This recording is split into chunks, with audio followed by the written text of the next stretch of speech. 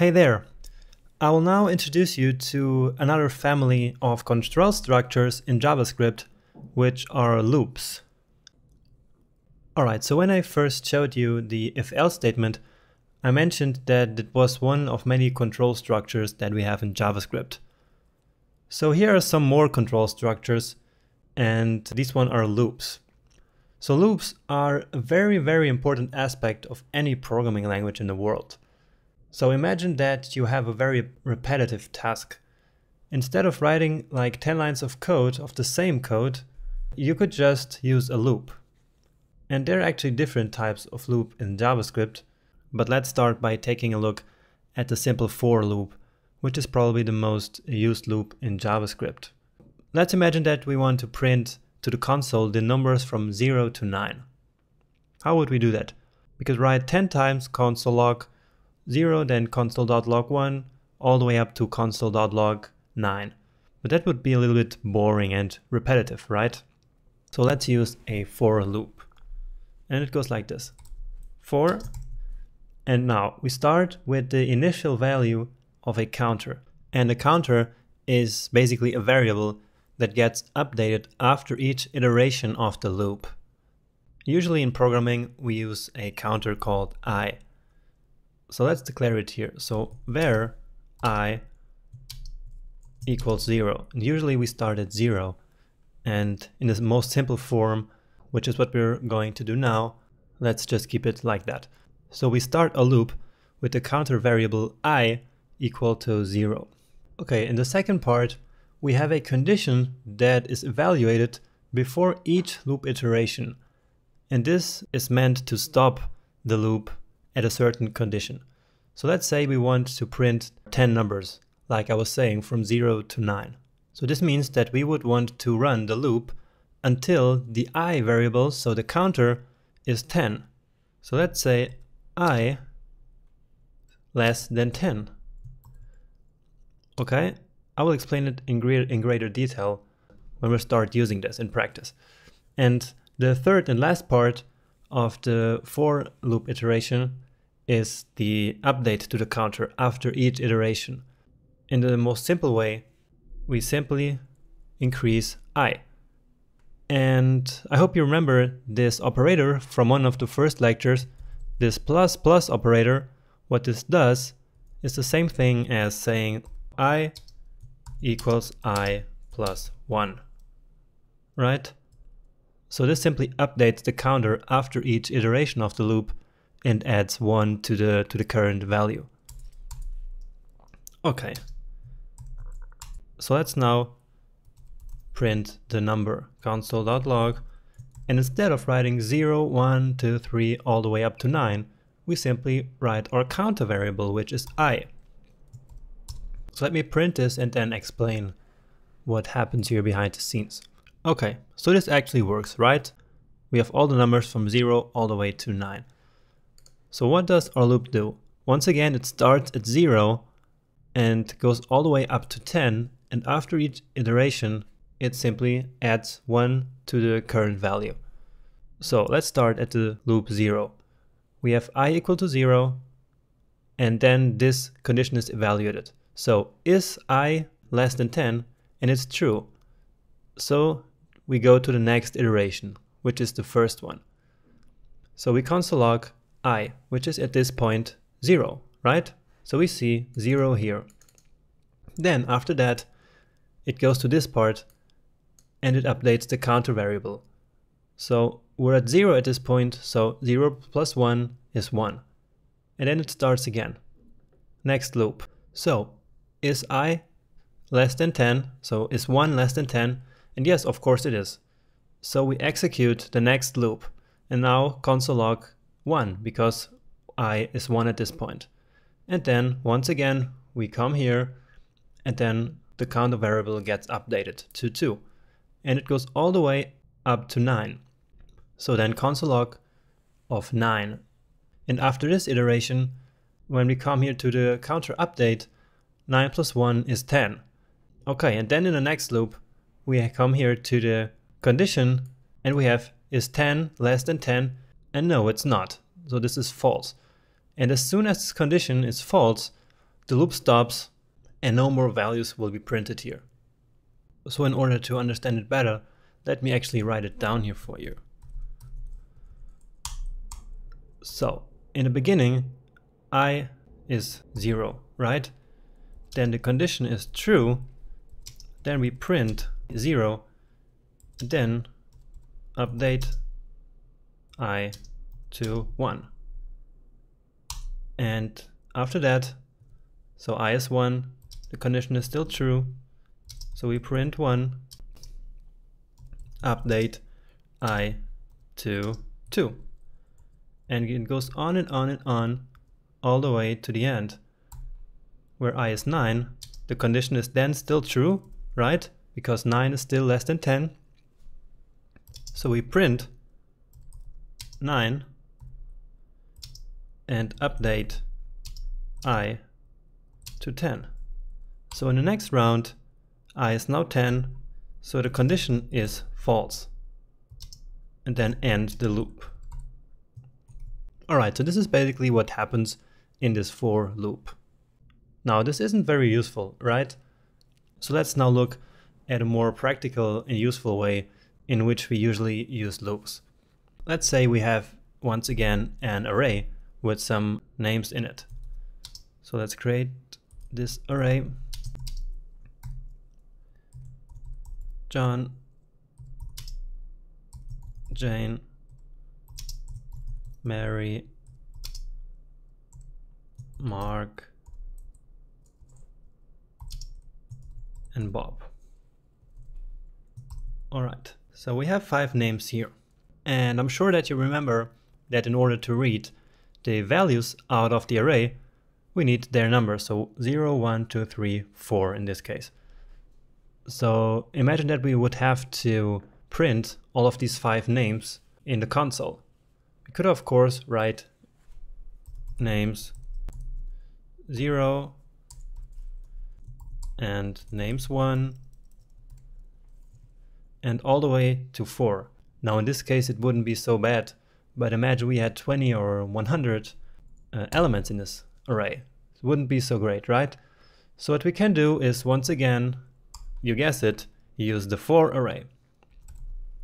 Alright, so we have 4 and once again we can say var i equal to 0 and we end when i is 5, right? Because it has 5 elements, 0, 1, 2, 3, 4, and we still want to include number 4, but number 5, we don't want it anymore. So when i is 5, we stop the loop.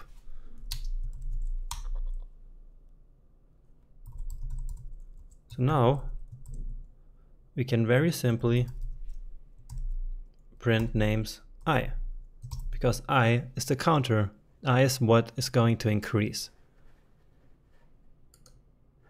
Alright, so we have the result from a previous loop, and now the result from this loop.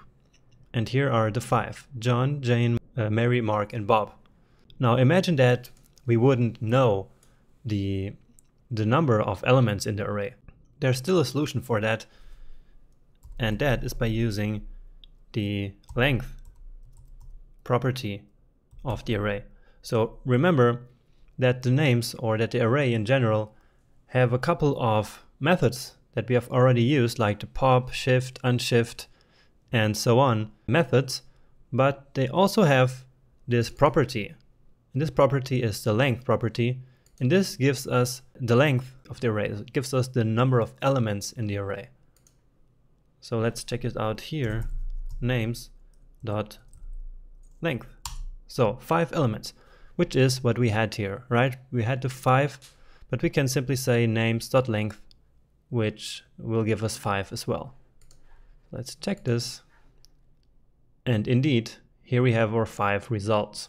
And looping through arrays is actually one of the biggest use cases uh, in general for, for loops. This is something that we very commonly do. And now I just have a small challenge for you. Imagine that you wanted to print these, these elements of the array, but not in this normal order starting from 0 to 4, but the other way around, starting in 4 and going all the way down to zero. So Bob, Mark, Mary, Jane, and John. So how would you do this? You can take a moment and pause the video and think about this, uh, how you would construct the for loop and then come back and see me posting the solution here. Okay, so just pause the video. Okay, so I hope you managed to make this work. And in case you did not, then here goes the solution. So we still need a for loop, of course. But if we want to start at, uh, at number 4, then we need to define our variable as number 4. And how do we do that? It's very simple. We once again use the length property. Names dot length. But since we don't want 5, but 4, we need to subtract 1. Okay, cool. So now we start with our counter variable at number 4.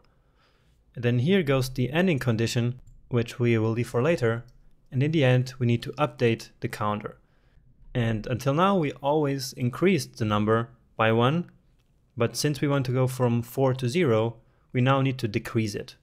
So it's not i plus plus, but i minus minus, which is the same as writing i equals i minus 1, right? So it's really the same as the plus plus operator, but for a subtraction. The condition that is evaluated before each loop is also pretty easy, right? Because what we want is to go all the way until the i is 0. So i needs to be larger than 0 and actually not only larger but also equal because we also want to include the first element which is John. Alright, so let's think about this again. So we start at number 4 and we'll go all the way to 0 because the condition is that i should be greater or equal to 0. So let's then log the names.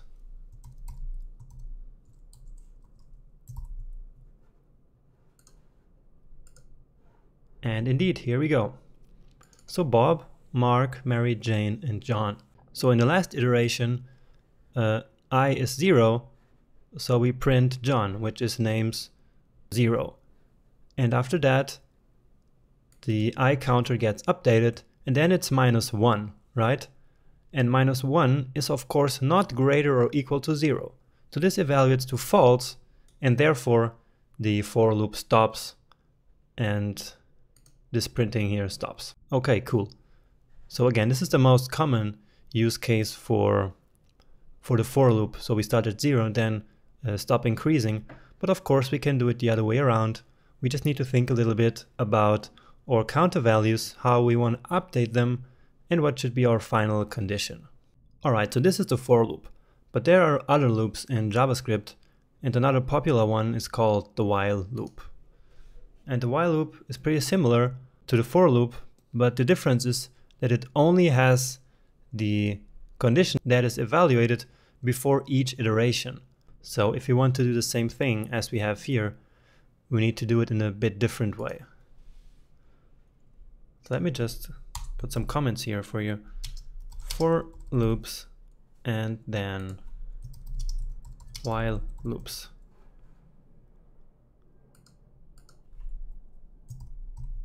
And I don't want to see this printing all the time, so let me comment it. So let's do the same thing as here. So print out these five elements of the array in the usual order. So remember the while loop only has the condition that is evaluated before each loop. So what we can do here is names.length. So this will get evaluated. Now if we want the counter and the counter update, we need to include them before and inside of the while loop. So if you want to counter, we need to put it right here before the loop, loop starts. And in here we can then console log the usual way, saying names and i. And after that, we need to simply update the counter variable. All right. And maybe this is even easier to understand than the for loop because this is actually what also happens in the for loop. So first we define something, which is the counter. Then while this condition holds true, we execute this. And we print, then we update the counter variable, and then it starts all over again. And to prove that to you, let me just reload it. And here we are, John, Jane, Mary, Mark, and Bob. And just to finish this lecture, uh, I want to show you two very important statements here for loops, which is break and continue. And put it simply, break is to is to break out of a loop, so to finish a loop at a certain point, and continue is to quit the current iteration of the loop and continue with the next one. So let me just show you uh, two quick examples. And these actually work for all kinds of loops like for loops and while loops as well. So let me make a very simple for loop here just to print the numbers from 1 to 5. So var i equals 0, then i should be smaller than 6, or we could even say less or equal to 5, which is the exact same thing. And then we want to update our counter. And now we simply console.log i. And actually let me start at 1 here, so that I actually print the numbers from 1 to 5. So 1, 2, 3, 4, 5. Now suppose that I wanted to stop this loop after 3, so only print 3 numbers. Now this isn't very practical in this case, but it's just to show you how it works because this is useful in other situations and that we will see later in the course. So we could just have an if statement here and say that if i equals 3, then we want to break. Alright, and what this loop will do, it will print 1, 2, and 3, but when it's 3, then this here will become true. So 3 will equal 3. And of course, then it enters this part here and will break the loop. All right, so this only prints the numbers 1, 2, and 3. And now something very similar, which is the continue. Continue. And this actually should be at the beginning of the loop, not at the end. Because continue is actually what happens at the end of a loop, right? So we hit the end of a loop and then we go to the next iteration, which is exactly what continue does. So what we expect to happen now is to print 1, 2, and then when i is 3, then 3 equals 3, so it's true, and then we continue. So number 3 will not be printed because we will go to the next iteration of the loop right after this and skip this console log here. So the number 3 will not be printed, but number 4 and 5 will. So let me show it to you. And here we go. So 1, 2, 4 get skipped, and number 4 and number 5 are printed indeed. Alright, so these are just some very basic examples, not really some real world applications, but it's just to make you familiar with these very important statements uh, that we have for loops. All right, and this actually closes up the fundamentals that I wanted to show you in this introductory JavaScript section. And we've covered a lot of stuff, a lot of material, and I'm sure that you learned a lot already. So congratulations for that. It's great that you're still with me. And so now let's just move on to our next coding challenge so that you can actually apply uh, what you've learned so far in another exercise that I have for you. Okay, so I'm waiting for you in the next lecture. And once again, congratulations for making it this far.